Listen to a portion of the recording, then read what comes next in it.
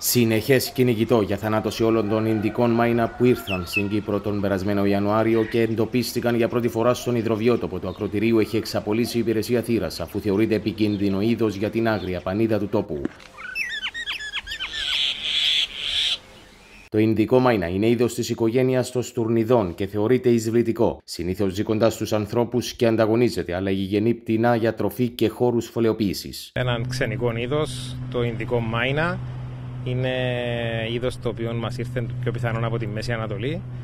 Είναι, θεωρείται εισβλητικό είδος άγριου πτηνού και με βάση τις οδηγίες από το IUCN τα ίδια αυτά θα πρέπει να γίνεται έλεγχος του πληθυσμού τους. Τα πρώτα μάινα εντοπίστηκαν στο ακροτήρι και μετά από συνεννόηση οι Βρετανικές βάσεις προχώρησαν στη θανάτωση τριών πουλιών, ενώ πριν από λίγες μέρες κάποια πουλιά θεάθηκαν και στην περιοχή του λιμανιού της Λεμεσού. Αυτά τα πουλιά έχουν εμφανιστεί και στο ακροτήρι εντός των Βρετανικών βάσεων εκείνη την περίοδο περίπου και έχει γίνει έλεγχος του πληθυσμού τους όπως έχει γίνει και εδώ στην περιοχή.